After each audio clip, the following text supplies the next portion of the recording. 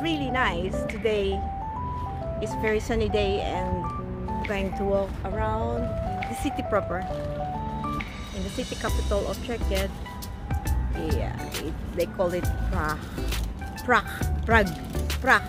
Oh yeah, Prague. Praha. Praha in other names. Hello, welcome to my channel.